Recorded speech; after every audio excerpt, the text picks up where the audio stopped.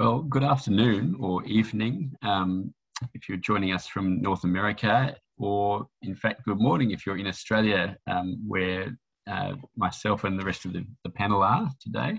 Um, my name's Jonty Hall, and I'm the recruitment coordinator here in, in veterinary and agricultural sciences at the University of Melbourne. Um, so I'm uh, one of the people you would talk to with any questions about future study. Um, I'm uh, excited today to have a panel including uh, Associate Professor Brett Tennent Brown, who is our current course coordinator of the Doctor of Veterinary Medicine, um, as well as two of our current students who are from North America, um, Chloe Roberts from the USA and Elisa Pura from Canada. And um, we'll be hearing uh, from, from all three today about, um, in Brett's case, about the course and from both of our, our students about what it's been like to be a Melbourne DVM student. Um, before we get underway, I just wanted to acknowledge um, the traditional lands um, on which uh, the University of Melbourne is situated, which is the lands of the Wurundjeri people um, of the Kulin Nations in Australia, and pay my respects to their elders past, present and emerging. Um, with that said, um, I think now would be the right time to hand over to Brett to tell you a bit about the course. Um, if you do have questions, please drop them in the Q&A box. Um, we will actually have a Q&A after Brett, Chloe and Elisa have actually all had a chance to speak. So pop them in the box and we'll get to them um, at the end. So I'll hand over to Brett now. Thanks, Jonty, and thanks for the introduction. Now, can everybody hear me okay, and can everybody see my screen? I think everybody can see my screen. Okay. Well, welcome everybody. Uh, my name's Brett, and I am an equine medicine specialist and um, now the DVM director. So I'm going to just give you a brief run through of our program. And if I can make my slides advance, which this stage is totally defeating me. There we go. All right. So the University of Melbourne is the oldest vet school in Australia, and we haven't quite been operating continuously for 100 years, but we have been teaching veterinary medicine uh, for over 100 years. We have, and we'll talk more about this in a minute, but we operate across two campuses. We have the central campus, which is in at Parkville, that's close to the, the CBD of Melbourne. And then we have the teaching hospital and out at Werribee, which is about 25 minutes drive from, from Parkville. And both of those uh, campuses have recently had uh, lovely new upgrades and fantastic new facilities, which I'll show in, in a minute. So the DVM program at the University of Melbourne is a four-year graduate entry program, and it allows you direct entry into the veterinary profession. And so there's no requirement like human medicine to do uh, internships. You can do internships, but there's no requirement. You can go straight into and you're ready to qualify and, and practice as a veterinarian once you've finished the degree. We have one intake per year. Uh, our semesters run a little bit differently to how they do in North America. So we start uh, late February, early March, and actually in DVM4, by the time we get through to the end of the year, we start in, in mid-January. Each year we take in about 140 students, and of those 140, we have about 50 places reserved for international students. Now, of course, rankings and numbers aren't all uh, aren't everything, but we are really proud at the University of Melbourne of where we do rank in the world. So the Melbourne Vet School is the number one vet school in Australia. The University of Melbourne is ranked well within the top 50 of all universities around the world, which makes it, makes it a very well regarded and well respected university. And our vet school is ranked 16th in the world. So again, a, a very well ranked and well regarded program.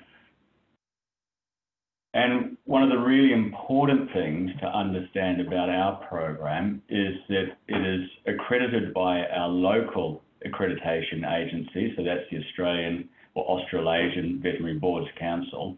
But really importantly for international students, is also accredited with the American Veterinary Medical Association and the Royal College of Veterinary Surgeons. And what that means is that graduates from our DVM program can go and work all around the world, but really importantly in the United Kingdom and the United States and Canada without sitting any additional exams or, or, without attaining any additional qualifications. Now, you will, of course, if you're practicing in North America, need to sit the NAVLE, and depending on which state you're going to practice in, you might need to pass a state licensing exam. But but that would be the same for the graduate of a, of a North American program. So that's a real advantage and a real strength of our program is that accreditation with those two really important bodies.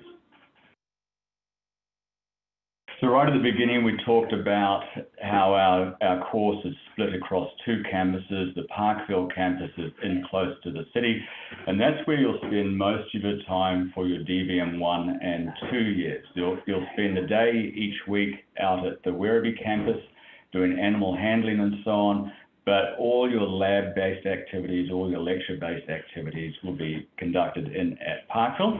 That's had a beautiful new uh, building just completed, which has got a whole range of lovely new uh, dissection spaces. It's got this really amazing uh, anatomy lab with all these specimens on on display. It's also got a lot of collaborative learning spaces, and one of the things that we do uh, in DVM 1 and 2 is try to introduce those students into the ways of clinical thinking, and we do that do that in small groups. So talking to your peers, building up cohort uh, experiences and working your way through cases. And we've found that a really useful way to get to get students who are learning those fundamental sciences, those fundamental building blocks for veterinary medicine, start to think like a veterinarian. When you come out to, when you get to DVM 3 and 4, uh, which is the years that I'm, I mostly teach in, um, you'll come out to the Werribee campus. And so, as I mentioned, this is about a 25 minutes drive from the CBD, and there's two new really exciting buildings out here. We have the the learning and teaching building. Those are the images on the left, and so that's that's full of lab spaces. We've got the surgery suite there where students can practice surgeries and clinical skills. And then the part that I'm most excited about are the images on the right, which is the new renovated teaching hospital. And our teaching hospital has a general practice. That's a really important part of our DVM4 program. We also have small animal referral medicine and surgery services there and our emergency and critical care services. We have a really strong group of uh, anaesthetists who have a real interest in pain management and support those services, we have uh, visiting cardiologists and ophthalmologists. So we offer a wide range of referral level services in addition to that general practice. Supporting those client-facing clinical uh, services, we have clinical and anatomical pathology, and we have a diagnostic imaging team that has all sorts of fancy equipment, including a standing CT, uh, CTs that we can fit horses into, as well as small animal patients, and uh, MR unit. Those are the those are the programs and the rotations that we run out at Werribee. In addition to that, we have some rotations that are held at uh, partner practices or what we call distributed practices. So we have a, a, really great relationship with the Lost Dogs Home, which is a shelter medicine and surgical facility or practice located in North Melbourne, and students will spend some time there.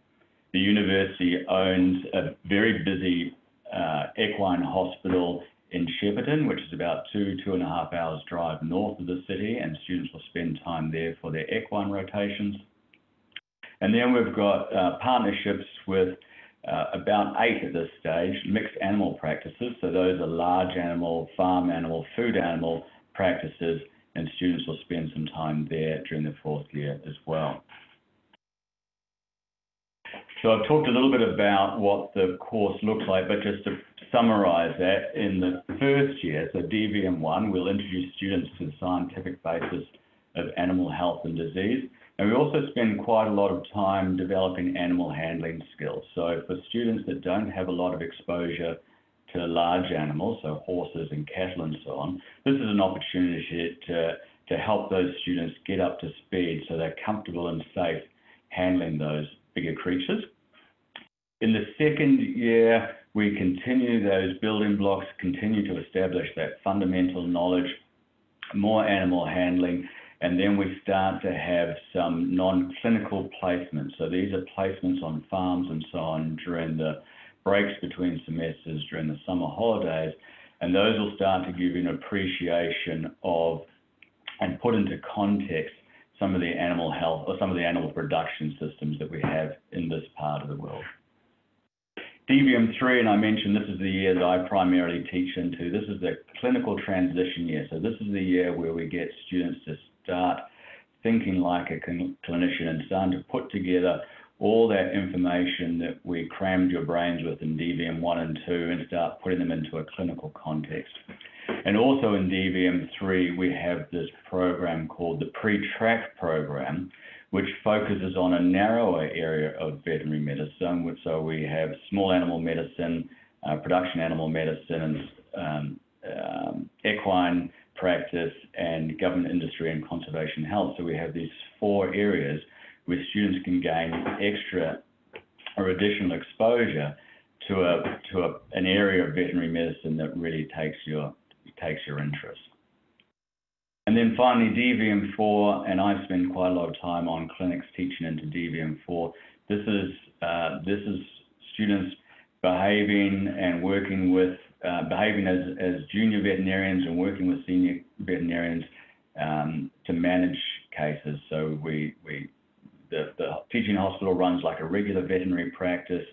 Uh, we'll take in a whole range of cases. We'll work with clients, work those animals up, hopefully arrive at a diagnosis, and then start managing them. And in addition to that, uh, we, there's opportunity for students to get what we call extramural experience. And so those are placements that occur outside of the hospital, and this allows you to supplement the training that you have within the University of Melbourne Teaching Hospital. So this is just a little map showing uh, where some of uh, where our students go to take those placements. It's probably actually not not totally complete, but um, students have the opportunity to travel really anywhere they would like in the world, and to to um, to undertake what we call these extramural placements. So lots of North American students will travel back and spend spend some time at home working in vet clinics back in North America. Our students from China and Southeast Asia will return home and spend time working in practices there. We also have students going and practice in, in Ireland and the United Kingdom or England, and, and we also have a, um, relationships with a couple of practices in Europe where students can go to as well. Of course, most of our students will spend time in Australia, and and actually a requirement of the course is that you do 50% of these extramural placements in Australia. I think when all of us think about veterinary medicine and think about where we'll end up at the end of our program, most of us think that we'll end up in private practice. But our graduates actually have really a really wide range of options and have managed to do all sorts of things with their veterinary degree. Lots of our graduates will go into private practice, but we have really good success with our uh, graduates getting internship placements, and then uh, a portion of those will go on and get residencies. So we've got University of Melbourne students that have got residencies from all over the world. Uh, a number of students will go into research to complete a master's or a PhD. And then there's a whole range of options for graduates. So uh, government services, coming back to the university to teach, um, working within agriculture, working within the pharmaceutical industry, and working with the animal welfare agencies. All these are options for graduates. And that's one of the really nice things about the veterinary degree, but our degree in particular, is that there's it really opens up a ton of doors for you. So there's all sorts of things that you can you can do. So how do we get in? These are really important questions, and uh, Jonty and his team will have more information and be able to answer some of your questions about this. But this, uh, the, the DVM at the University of Melbourne is a graduate degree, so you must complete a science-based undergraduate degree that includes at least one semester's study in biology, that can be general or cellular, and some biochemistry. There's a, there's a, a, a not exhaustive or not totally inclusive list of suitable degrees and majors that you might think about. But it's important to recognize that entry into the course is competitive and based primarily on academic merit. And so, so we use scores from the science subjects at the final level, uh, final year level, I should say, and then at the second to last year as well. And they're weighted more heavily towards the final year. I think most of you will be working for on a four-point GPA scale, so that gives you an idea of our benchmark. Uh, for those of your universities that use a percentage on your transcripts, we we look for an average of 75% or higher uh, on your transcripts in your final final two years.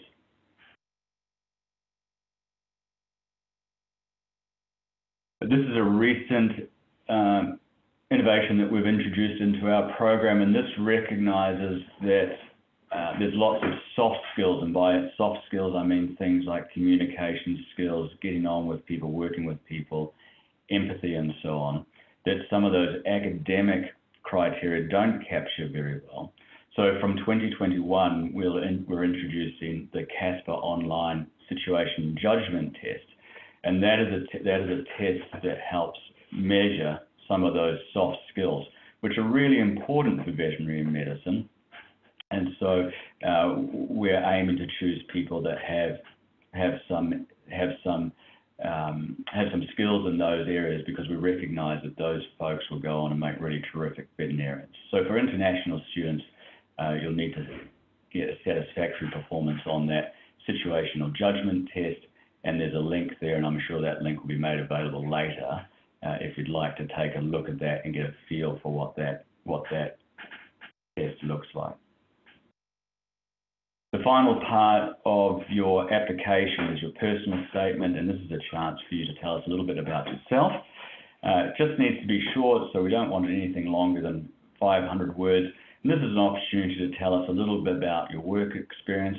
We don't expect you, we don't require you to have um, any experience with veterinarians or, or extensive experience with with uh, particular large animal species or any animal species, but those are all helpful. And certainly, if you have some animal experience or some uh, experience with veterinarians, working as a nurse or spending time in the practice on weekends or during your holidays and so on, that can really help with your application. And so, your personal statement is, a, is an opportunity for you to uh, outline some of that experience. And I think, Jonty, that is all I have. I probably did. How did I do? Did I get through that quickly enough? Too long? Too slow? Um, timing was pretty much spot on, Brett. So thank you for that. Um, uh, it says Q and A session, but I'll actually hand over first to uh, Chloe and then Elisa before we get into the Q and A. Um, so yeah, please think up your questions in the meantime and drop them in the box. But for now, um, I'll hand over to Chloe. Right, and I think I'll have to, I'll stop sharing, Chloe, which should allow you to share your slides. Yeah, perfect. Yep. Um, you can see that? Okay. Um, so yeah, hi everyone. I'm Chloe. I am a second year here at UniMelb. So that means I'm going to be graduating in December 2023. Um, a bit about my background I went to Colorado State University and I graduated in 2017 with a major in zoology. So, how did I end up here? Um, so, I did not always want to be a vet. I actually sort of made the decision to pursue the DVM after I graduated undergrad. Um, so I graduated undergrad, didn't really know what I wanted to do. So I just started volunteering places. Um, I started volunteering at the local Humane Society. And then I eventually got a job there as a welfare specialist, AKA a glorified cleaner. Um, but then I made my way to the med team and got a job as a vet assistant there and really loved my time there, really sort of felt like that was where I was supposed to be. Um, and then also at the same time, I was volunteering at a local marine science center. And I had a really wonderful opportunity to actually go to Brazil and look at the Amazon and see firsthand an ornamental fish industry there, which was amazing for so many reasons. But I actually there met an aquatic veterinarian, and that sort of just opened up my eyes that vets work with more than just cats and dogs. And I have always grown up loving um, aqu- uh, aquatics, so I didn't even think that aquatic veterinarian was a thing. So those two experiences sort of led me to um, consider the DVM. And then I also had studied abroad um, at the University of Tasmania um, during my undergrad and absolutely fell in love with the country. So I knew I, if I could, I would love to come back or at the very least um, leave the US again, so go somewhere else. And I I just happened to stumble upon the University of Melbourne website, found their DVM program. I had all the prereqs and I applied.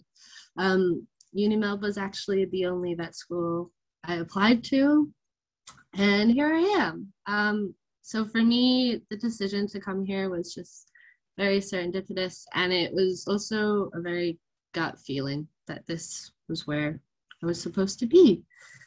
Um, in terms of career aspirations, like I said, I love aquatics. My absolute dream job would be to be a vet for an aquarium. Um, but I've also got to do some placements with aquaculture and have really enjoyed my time there. Um, but I'm also open. Um, if the pandemic has taught me anything, it's that I can't plan for everything. So I'm kind of just seeing where life takes me. I'm open to doing a rotating internship in North America or potentially doing a residency um, but yeah, like I said, I'm open. I have learned to love certain animals in vet school. I was not a horse person. Still not saying I am a horse person, but I'm coming around to horses. And I've also absolutely fallen in love with sheep while I'm here. So um, yeah, aquatics is where my heart's at, but I'm open to seeing where I go. Um, so some highlights so far. Um, that first bullet point, learning how to use Zoom. So I do have to say, full disclosure, my pretty much entire first year of vet school was online, unfortunately. Um, we got here for two weeks and then went into lockdown for the whole year, which had its challenges. Obviously, it was um, could be very hard sometimes, but even though we were online, I still managed to meet a decent amount of my cohort and make some really solid friends. So that first image there is our little friend group. We'd have Friday night Zooms, and actually, that Zoom we decided to all dress in our scrubs just to remind ourselves that we were in vet school. Um, so you'll hear this a bunch, like no matter where you go, but the people in your cohort really do become your family. And that 100% has happened to me, especially with my fellow international students. Um, you just become so close. So that's been one of my highlights so far at DVM. Um, also this year, now that we're back in person, we've got sports going again. Um, so I, I played soccer in like primary school, but um, hadn't really played soccer, but I got roped into playing soccer and it was a wonderful time. We have a bunch of other recreational sports that is really fun time and you get to meet other people like years above you, just more people in the program. And then this year, finally get to experiencing the wonderful campus that Brett talked about. Um, the, I've mainly spent most of my time in Parkville in the city right now. Um, but it's gorgeous. It's a new building, and like people from other programs try and come and use the building because they're so nice.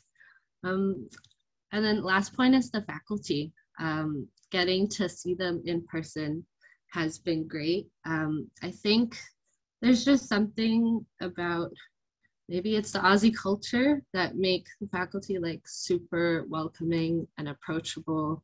Um, because I experienced this when I studied abroad as well. Um, you call professors by their first names here, and that's something that didn't really happen for me in undergrad. It was a bit more formal back in the US, but here, um, I just feel like there's a little bit of a different attitude. And um, yeah, the staff are very approachable, and it's been oh, so nice getting to see their faces in person and interacting with them.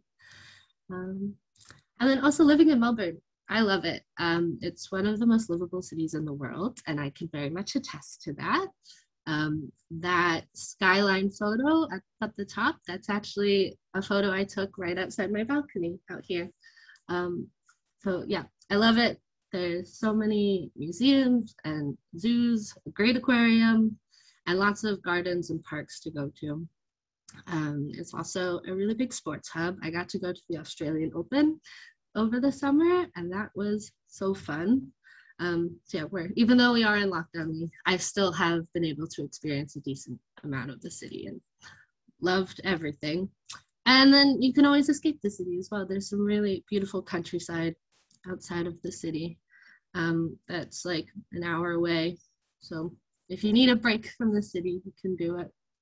Um, yeah, that was my fast pace, quick. Um, I guess I can pass it on to Elisa now, who will give you a better snapshot of what vet school is like pre-COVID. Yeah. Mm-hmm.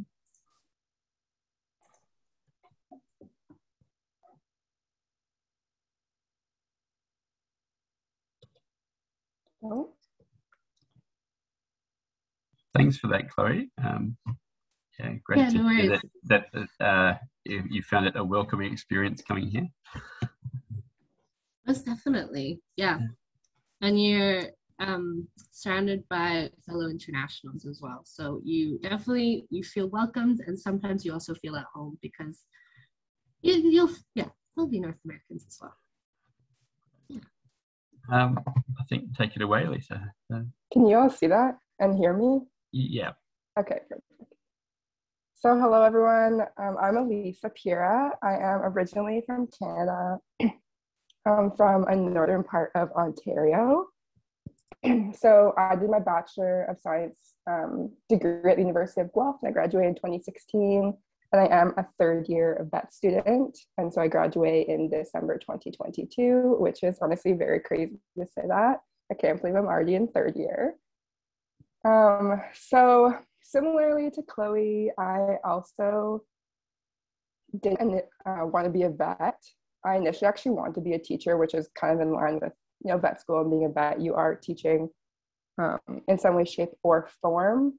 So like I said, at the University of uh, Guelph degree, and I studied animal biology, which was a really lovely time. I had a lot of fun in that degree.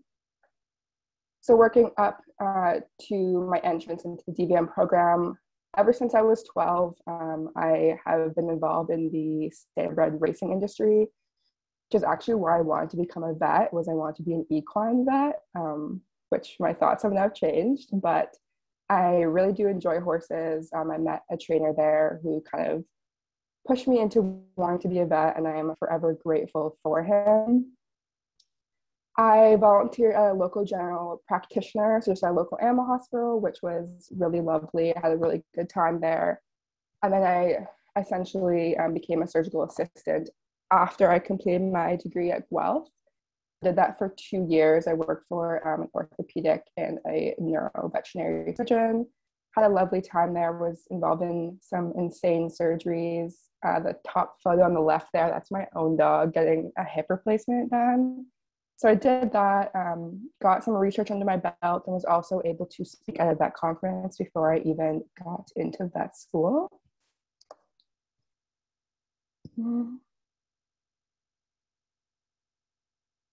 So for me, my career aspirations is I do want to track small animals for my third fourth year.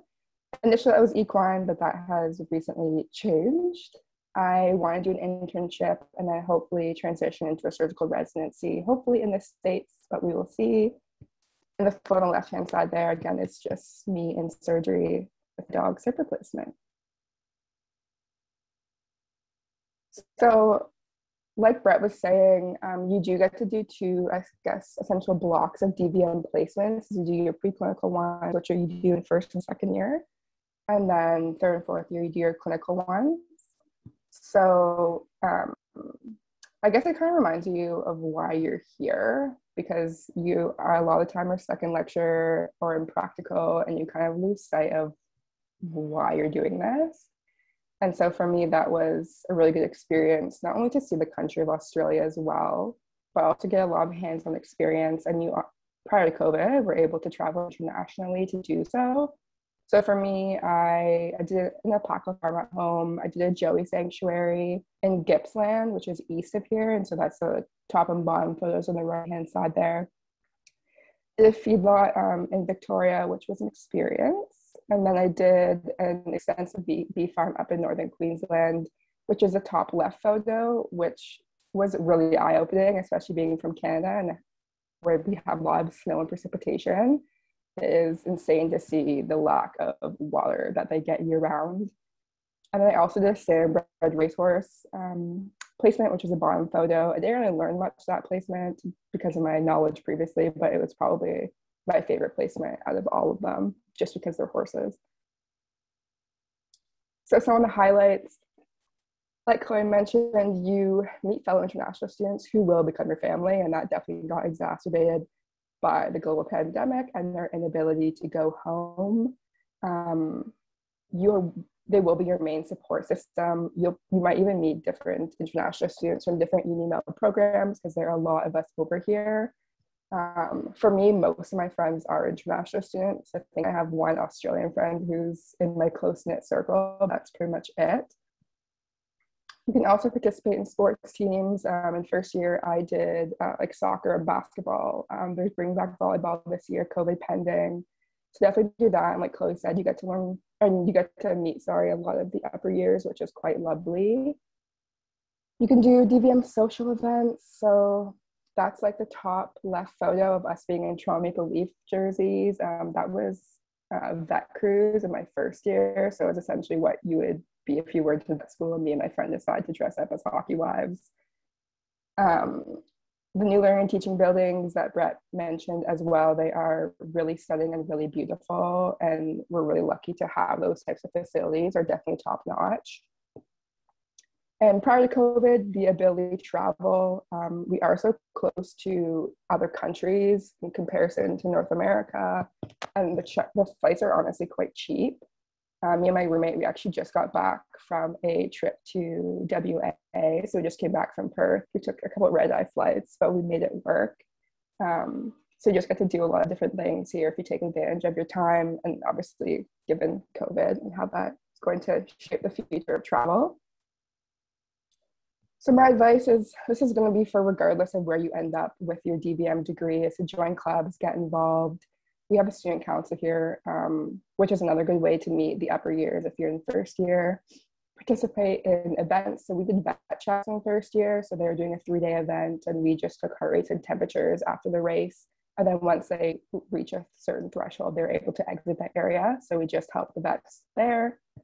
Um, Friday things, which again, pre COVID, you were able to go to events and just meet the upper years, have a few drinks, have some free pizza, which is awesome. Self care is super important. Remember, burnout's massive. Um, it's a really common thing. I unfortunately experienced burnout before I even got into the degree um, in this profession. So just be mindful of that. Um, hang out with other students. If you need to go see psychology, there's multiple different ways to help yourself and to set yourself up for success. And finally, like enjoy the journey. I'm in third year. I can't believe it already. Time flies. I don't know where the last three years went. Um, so don't wish it away, is my suggestion. And finally, the finances, which is kind of like the nitty and gritty. Um, it's not the best way to end the presentation, but it is pretty important. Um, for me, anyways, I spent $19,000 my first year living here um, at, in a studio apartment right in the heart of CBD. Um, I now pay like a half to a quarter of that now that I'm out in a western suburb. But it is important to let you guys know that rent here is expensive. OSAP, if you're from Ontario, that's an option. They have increased it. Don't quote me on these prices as they might change, but we got 50, just over 15,000 for the entire year. So that's helpful. Um, but bank funding is quite limited.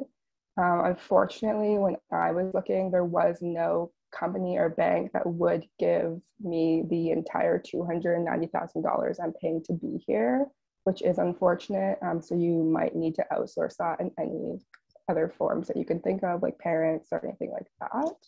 So unfortunately, it is expensive and it is a real thing that we, that we do need to discuss. And those are just some cute photos that I thought make this slide less daunting.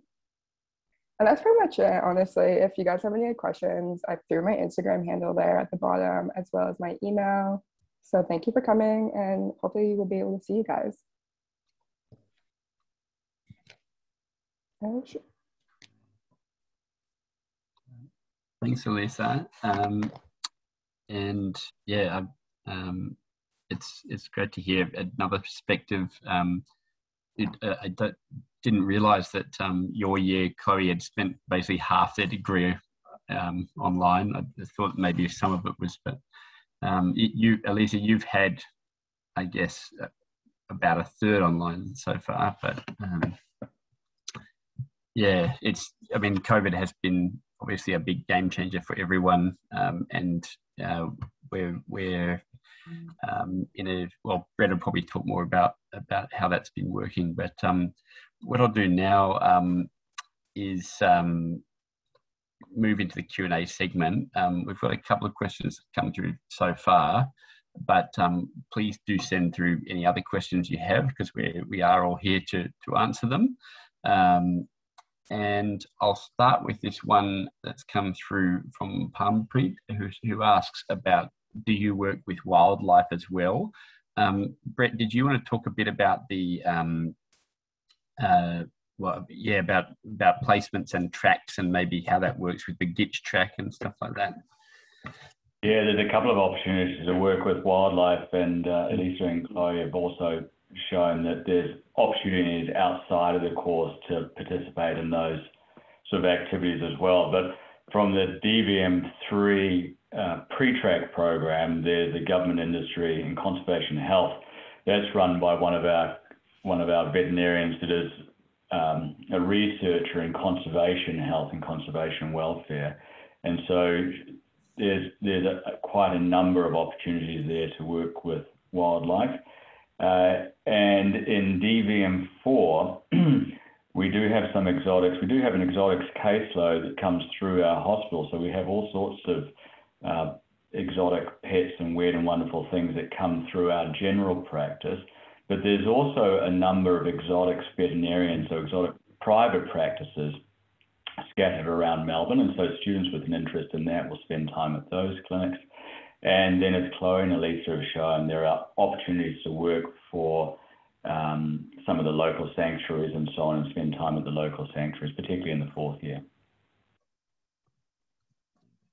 Um, yeah, um, it, it's probably worth putting out you don't need to choose your track when you get here. It's, you've got at least a couple of years, I think, haven't you, for that? Um, yeah, that's that's exactly that's exactly right. So you don't need to don't need to worry about. And the overall aim of the DVM program is to is to produce veterinarians that are broadly qualified, and so we don't steer students down this very narrow sort of focus. Um, but but really, by, particularly by the time they get to the fourth year, there's a lot of opportunity to spend time in an area that you're you're interested in. So so lots of lots of lots of possibilities there. Um, we've got our next question here, which is from Harita, who asks, um, I'm an undergraduate student in the US who'll be graduating in May 2022, and uh, Harita's going to apply through VMCAS. Um, now, for those who don't know, VMCAS is a, a, North American application portal for vet schools, and it does allow you to apply for a number of schools at once. So if you are thinking about the University of Melbourne, but you're also looking to apply closer to home, um, VMCAS is a, a good way to to kind of maybe cut down your paperwork by by doing a lot of, of vet school applications at once. Um, VMCAS, uh, Heritas asks, um, she's noticed our deadlines are different um, and that the school year starts in February, March. Um, I was as confused as to what the timeline looked like and when I should apply. Um, the, the short answer to that, Harita, is um, you would need to apply um, in in the year prior to when you want to start. So we have a February commencement in semester one, um, and we only have that for DVM. We have a mid-year intake for other courses, but for DVM, it's always February. Um, what that means is that even though VMCAS is now open, and I think that'll be open for North American schools for their September or their fall semester next year. Um, you can't actually apply to us yet if you're not going to finish until May because um, we will be looking to fill the class that commences in February next year. So at the moment, um, yeah, unless you're going to finish your studies in, in 2021 or you've already finished, you would be looking at applying next year instead. Um, I don't think um, either of you would have used VMCAS, Chloe or Lisa. So I personally did it, but I know a lot of people in my cohort did. So I did use VMCAS. Oh. Um, not really the smartest idea because it really only applied to UniMelb. Um, so if you're only applying to one school, um, don't do it because it costs more money. Um, so if you're only going to apply UniMelb, which is what I ended up doing, um, just apply through UniMelb is my suggestion. Oh, there's also OzTREKK in Canada if you're from Canada. So check them out. Um, they're a lovely group of people, so do that. Yes, worth mentioning. Um, if you want a hand with your application, um, actually now also do um, work with American students. So um, if you're from US or Canada, um, I think one of my colleagues will be able to drop the, the uh, website in in the chat box. But um, uh, yeah, OzTREKK uh, are happy to help you with your application. Um, they work on, on a commission basis, so you won't actually pay anything yourself to use OzTREKK's services. Um, it's it's the universities that that pay um, pay, pay the agency um, to place students. Um, our next question here is: um, Other than COVID, what's been the most what have been the most challenging aspects of this program? Yeah, I guess, mate, Chloe Lisa, who wants to go first? Um, for me, anyways, obviously this is kind of COVID related, but you're eventually gonna get homesick. Um, I mean, for me, anyways, I probably won't be going home to the end of my degree because of COVID at this point, which will be three years without seeing my family, um, which is challenging. Um, you will probably get homesick around the major holiday events. Um, Thanksgiving, in particular, I found was when a lot of us um, got homesick. You're like, we're almost done, we're almost done. And then like Thanksgiving hits and you're kind of sad about that. Um, so that's challenging. But in terms of academic wise, each year is a step up of what they expect from you. Um, so I found from first and second to second year, it was a massive jump, um, which is in, like, it's just, it's just a lot going from having four exams to having six or seven exams in three weeks is a lot. And then second to third year um, is also a really big jump. They just have a higher level, a higher level of expectation, um, which is fair. You're moving through like a, a professional program that's going to happen, um, but is a really big change from the undergrad. Um, so just be careful with that. But I'm sure that once you get into your DVM degree, you'll figure it out. You'll get through it. We all do. Um, so yeah, just lean, on your students, your staff. Um, we're all there to help. Um, yeah, for me, I think it's uh, comparing yourself to others. That's something that I'm still working on, but I've gotten better um, because vet school is the top of the class and you're all put in the same boat together. Um, so your cohort is like super smart. Um, but just keeping those blinders on and just staying in your own lane and just um, doing you. And it's a challenge for sure, but I but you can get better at it. But yeah, just following your own path and staying in your own lane. Yeah.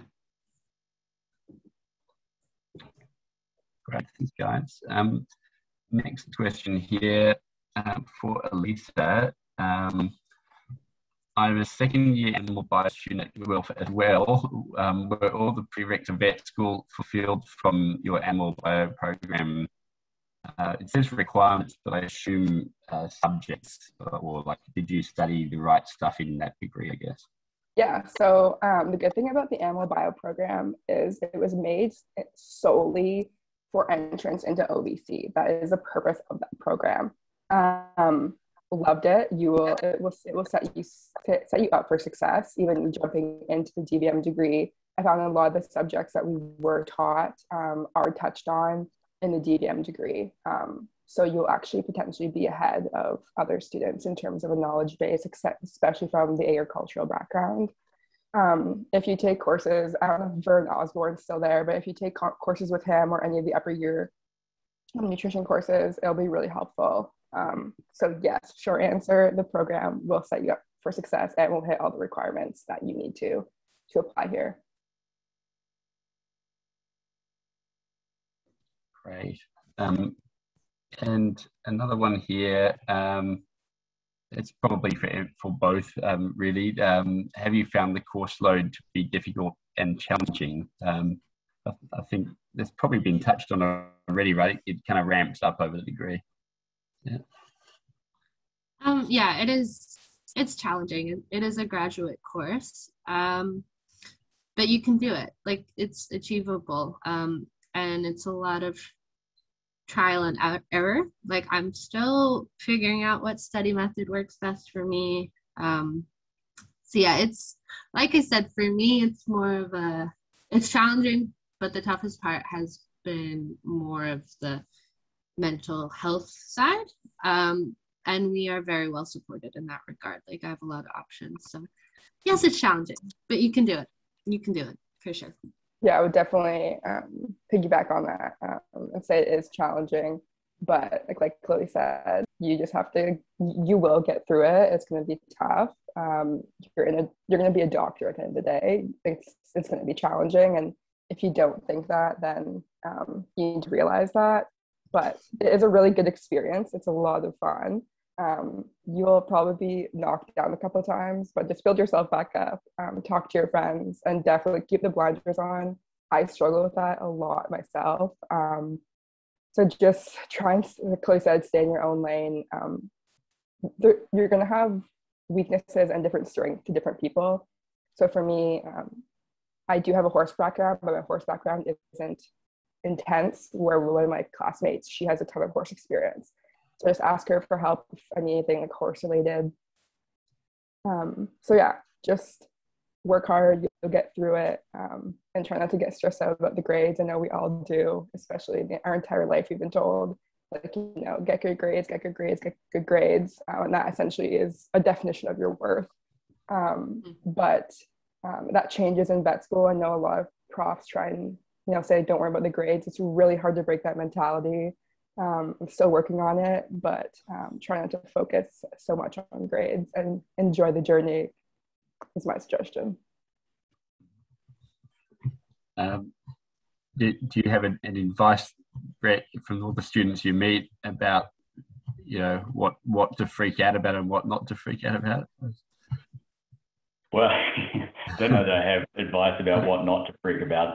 I think people, it is an intense course and it's a challenging course, and there is a there is a large volume of, of material to work your way through. And I think uh, all of us, when we saw that, uh, were a little bit uh, overwhelmed. But but you know, a marathon starts with your first footstep, and so you've just got to work your way through it. Um, try not to get stressed out about stuff that's not important. I think Chloe and Lisa both said really important things about not worrying too much about where everybody else is at and not trying to compare yourself to, to everybody else and work your way through the course.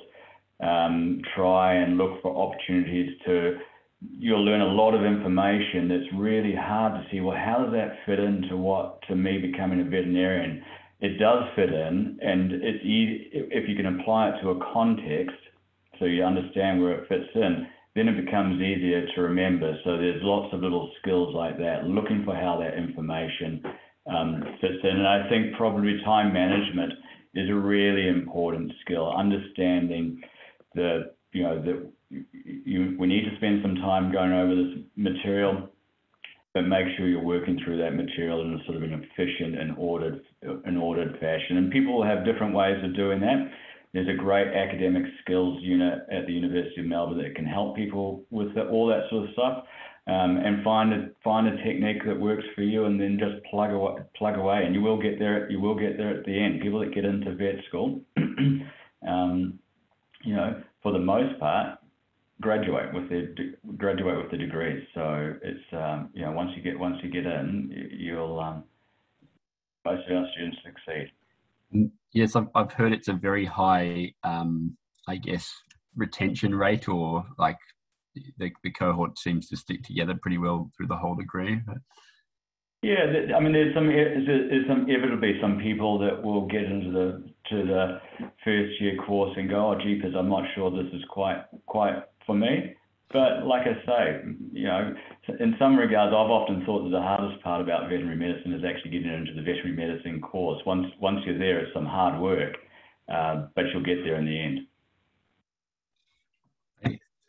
Um, just a couple more questions. Um, this one again is for Elisa. Um, Elisa, how have you found studying at Melbourne compared to Ontario? Um, that's a great question that I don't know if I can fully answer. Um, I guess one thing I really enjoy about it is that we start and end in the same calendar year, which really confuses people back home, but I prefer it. Um, I guess it's it's really hard to compare one or the other because I did an undergraduate degree and now I'm doing a doctorate degree, um, which are vastly different. Um, I've enjoyed both my experiences thus far. They're both great. Um, like Chloe said, like living here is awesome. You, it's a really, really livable city. I'm not from a big city. My hometown is 5,000 people. Um, and then to come to a city that has 6 million people is a really big jump. Um, but you get used to it. I love Melbourne. Um, the course itself is really unique in terms of the sense that it's a fully integrated program. So for us, like we don't have a histology class or a pathology class. It's everything's intermingled, which can be a blessing and a curse. I'm not good with, pathology whatsoever. Always the worst marks in all of the exams um, but like it's it's good in the sense of that you don't have to segregate your learning and that you're learning it like all together at one time you don't have to have all these different courses which i thoroughly enjoy um, which i know is different from north american vet colleges um, but it's really hard to compare the two um, they're both really good experiences and they're both tough in their own way given your life experiences up to that point cool. Um, yeah, Chloe, what about you? Did you were you at Colorado? Was that your your undergrad? Yeah. Um, yeah. So at least from an American perspective, I think probably one of the toughest part is the actual like marking is different.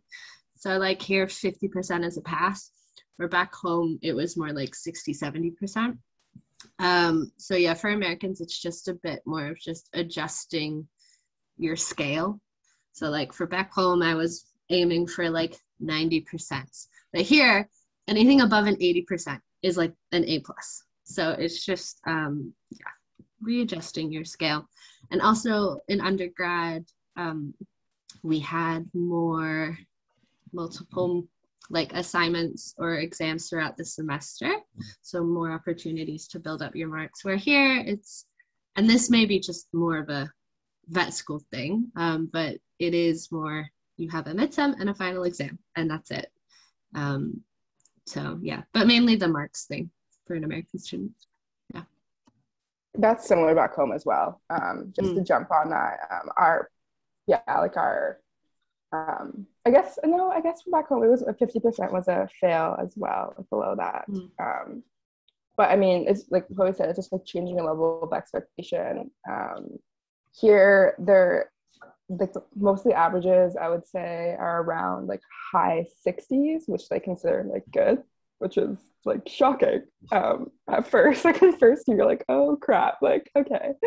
Um, especially just you know you work so hard in your undergrad to get those you know mid 80s low 90s to get into a college back home and then you come here and it's a huge shock um, but you'll get used to it um, eventually Um, two more questions. I think we're nearly um, out of time. Um, uh, you. We have, um, oh, um, in terms of the program itself, is it is there a lot of um, is it seminar based and there are lots of presentations, or is it more um, practicals, labs, and and classroom work? Um, obviously, some of that has probably changed a bit with COVID anyway. Brett, did you want to quickly talk about maybe the balance of practical in the later years versus earlier years and, and stuff like that? Um, our, our aim is to get contact hours per week to around about the mid 20s, 25 contact hours per week, or 25 hours dedicated to sort of studying. And our aim is to have that a third classroom based and then a third uh, practical based and a third collaborative learning activity. So we try and so so there is quite a heavy lecture component, and that turns out to be a really good way to get across information. But there's lots of other types of opportunities to to learn. And, and based on my experience with the other vet schools I've worked at, I, our practical load, our hands-on stuff is really pretty high. We, we, we give students lots of opportunities to, to practice hands-on stuff with live animals and lots of opportunities to practice clinical skills. So, so yeah, uh, does that kind of does that kind I, of answer? I, yeah, I think that that covers it. I mean, um, yeah, it, it it's um suffice to say, it's basically a full time job to be a vet student. I think so. Um, yeah, yeah it, we, we definitely do have students that do some some work alongside their studies, particularly in the first couple of years. But um, yeah, I, um, I imagine neither of you are in fourth year yet, but I've heard that it's pretty pretty much just full on placements the whole year. Um, but, um, yeah, it always amazes me because I was never smart enough to do this, Jonty. Um, but um, we do have some students that, and I take my hats off, and we do have some students who hold down part-time jobs, actually across the whole course. But it's that's that's that's that's challenging. And DVM4 it is DVM4 it does become a little bit ch- more challenging because there's some after hours requirements and some weekend work across the year. So it can be it can be difficult to difficult in, in a time fashion to fit in a part time job, but also I think um, difficult in terms of a sort of just a capacity. Um, yeah, so it, it, I mean, it is challenging. Um, I have recently picked up a job actually at our teaching hospital um, and I find it challenging kind of just to balance everything. I know that some students, um, they get jobs outside of the vet profession um, just to help with their sanity. Like one of my uh, housemates um, works at the ice hockey rink to like really channel her inner Canadian. So it's it's just something you know to keep your mind off of it um, and to meet more people, I guess. So it's really up to you whether or not I guess in a financial situation whether or not you work, but it will be challenging um, and it does again take away from study time, relaxation time, and you kind of need to factor that into the time management throughout your week. Great. Um, last question. Um, when selecting an applicant, are you looking mainly at the grades or also the experience and the interview? Um, well, first of all, we don't normally have interviews, um, which may be reassuring to some of you in, in the audience. Um, we do have the CASPER test and grades and Brett, did you want to talk about that one, or otherwise I'm happy to, to talk to it? Yeah, the CASPER is a new innovation, Jonty, so you might have a little bit more insight to that one. Uh, but um, at this stage, the CASPER makes up 25% of the sort of the grade that we award to the app- application, and then your marks from the final two years of your undergraduate course contribute 75%. And the personal statement now, Jonty, tell me, you might be able to fill me in. What, what's the what's the contribution from the personal statement, which is that opportunity to show sort of work experience and all that sort of stuff? Yeah, so uh, the the actual the admissions process is reasonably complex, and there is um, already has been posted in our in the chat a guide, the full selection guidelines, which will walk you through all of that. Um, the main thing to know is that that your grades are still the single most important element in, in selection. Um, and if you're applying for next year, you would be evaluated on what's called a science GPA, where we only look at your science subjects and only the ones you've taken at final year level and um, penultimate or second to final year level. Um, that will actually be changing from the 2023 intake onwards to be um, a, a, what we're calling a weighted average mark system instead. Um, we will still be looking at final year and penultimate year level subjects, but um, we will include all subjects, not just science subjects. So if you've got a, an undergrad where you've done, you know, electives in um, in French or ancient history or something like that, if they're at penultimate or final year level, they would still count towards your your um, that side of your admissions prospects. Um, as I see, that is the main thing we look at. Um, there are up to four bonus points available for the personal statement. So you know, if someone's sitting on a um, a 75, that might bump them up to 79 if they get if they submit a really good personal statement.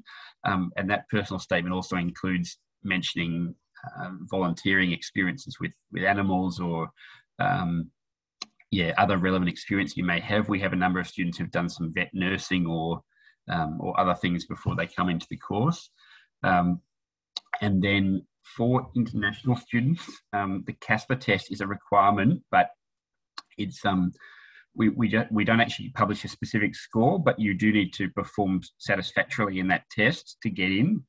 It won't actually be part of your GPA though. So um, for domestic students, it counts for 25% of your overall score, but for internationals, it's a kind of yes or no, um, effectively pass fail system. Um, pardon me. Um, we've, we've gotten through all the questions. Um, I, uh, in the invitation for this event, I think we did promise um, a sneak peek of the uh, of the Werribee campus, which you see in the photo behind me. Unfortunately, because Melbourne has just gone into a into a lockdown due to a, a fairly small uh, so far COVID outbreak that has just happened, we're not actually on campus today, um, so we weren't able to do that. Um, I will just post in the chat a couple of links though, um, because we do have a, virtu- a virtual tour available um, of both, which includes Parkville and Werribee. Um, and um, if you'd like to have a look around the campus, I'd highly recommend checking that out. Um, there's also uh, just a quick video, it's about a minute and a half long, which is um, a lot of nice shots and some drone footage of the outside of the building and also a bunch of filming that was done inside just after we opened that building. So that's the actual, pardon me, Melbourne Vet School teaching area. Um, but um, the Parkville campus is where you would spend the majority of your, your first couple of years. Um, um, yes, thank you all for coming. Um, I hope that enlightened you all a bit about what, what the Melbourne DVM is all about. Um, and um, I just want to thank um, Brett and Chloe and Elisa very much for, for being here and sharing um, their insights with us. Um, if you do have any questions, please just visit our website, um, drop us an inquiry. We'll get back to you within a couple of days. as you would have also seen the chat, my colleagues Todd and Julia, who are actually based in, in the USA, um, are also available for um, for consultations. So if you want to chat to someone that's on your own time zone, um, you can click the links in the chat and book a, a chat with Todd or Julia um, over Zoom. Um, they'll be able to, to tell you a bit more about applying for the university. Um, they're also kind of our gurus on on all things uh, North America. So they, if you have questions about loans and things like that, they're they're going to be in a better position to answer those than than than we are back in Melbourne. Um, so yeah, please don't hesitate to, to book a consultation. Um, otherwise, um, thanks all for coming. Um, we will be posting the recording of this as well. If anyone um, came came in halfway through, and yes, have a good evening if you're in, in North America, and a good rest of your day if you're here in Australia. Thanks, everyone. Thanks, everybody.